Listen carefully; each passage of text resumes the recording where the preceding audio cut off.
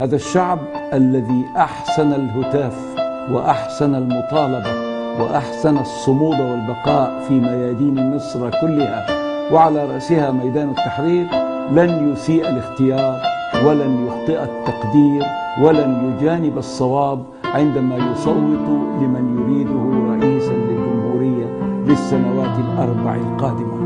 وهذا البلد غير مستعص على الإصلاح لأن عناصر الخير فيه موجودة في كل شبر من أرضه. آه، السلام عليكم. أنا عمر خالد آه، لاعب كرة قدم آه، في نادي جولدي دوري الدرجة الثالثة اللي هو دوري المظاليم كنت عايز أسأل آه، دكتور آه، سليم العوا دكتور محمد سليم العوا آه، لخطته في تطوير كرة القدم وخاصة الدوريات اللي هي دوري الدرجة الثانية والدرجة الثالثة عندها مشاكل كتير جدا.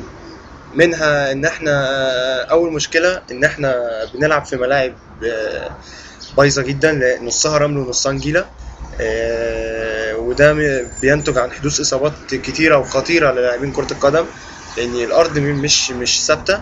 آه، تاني مشكلة إحنا عندنا مفيش وسيلة نقل بتودينا للماتشات. يعني إحنا كل لعيب بيروح لوحده بيروح الماتشات لوحده بمواصلاته الخاصة. ده بينتج برضو عن يعني استهلاك طاقة اللعيب بينزل الماتش مش بدون طاقة بسبب إن هو يعني المواصلات أهلكته. فكنت عايز أسأل حضرتك يعني النقط دي هتهتم هتهتم بيها إزاي وهتطورها إزاي؟ شكرا. كابتن عمر خالد عليكم السلام ورحمة الله وبركاته.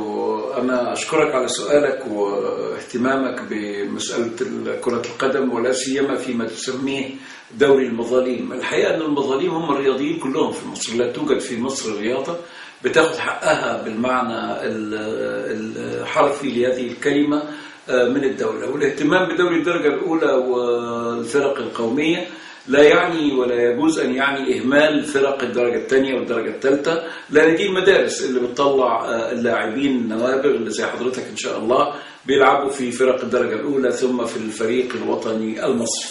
أنا ببص لكرة القدم على أنها جزء من المنظومة الرياضية الشاملة جزء من منظومة بناء الأجسام وتقوية العطاء الرياضي في الوطن. العطاء الرياضي آه، ليس قاصرا على كرة القدم بس كرة القدم جزء كبير منه جدا لأنها اللعبة الشعبية الأولى في مصر. فبإذن الله هندعم هذه الأندية وهنغير الوضع السيء اللي هي فيه زي ما حضرتك بتقول ملاعب نصها نجيل ونصها تراب ومش قادرين تلاقوا أتوبيس للنادي يوديكم الماتشات فكل واحد بيروح لوحده. دي طبعا آه، عيوب آه، تدل على قصور آه، الجهاز الرياضي في الدولة في أداء واجباته. أنا سمعت إنك في نادي جولدي، نادي جولدي طبعا نادي قطاع خاص وأظن أنه تابع لشركات الدكتور أحمد بهجت، إذا كان كذلك فعلى هذه الشركات أن تعتني بنواديها ولو كانت في دوري الدرجة الثالثة، ما يكفيش إنه ينشئ نادي لازم يتابع العناية به وبلاعبيه ومدربيه وأرضه وانتقال اللاعبين للمباريات والتدريب وما إلى ذلك، ده كله إن شاء الله آه، كابتن عمر هيكون في خطتنا. وأنا متشكر قوي على سؤالك وإن شاء الله تسمع وترى بنفسك التغيرات اللي هتحصل في المجال الرياضي آه، بمجرد ما تبدأ الحكومة والدولة الجديدة.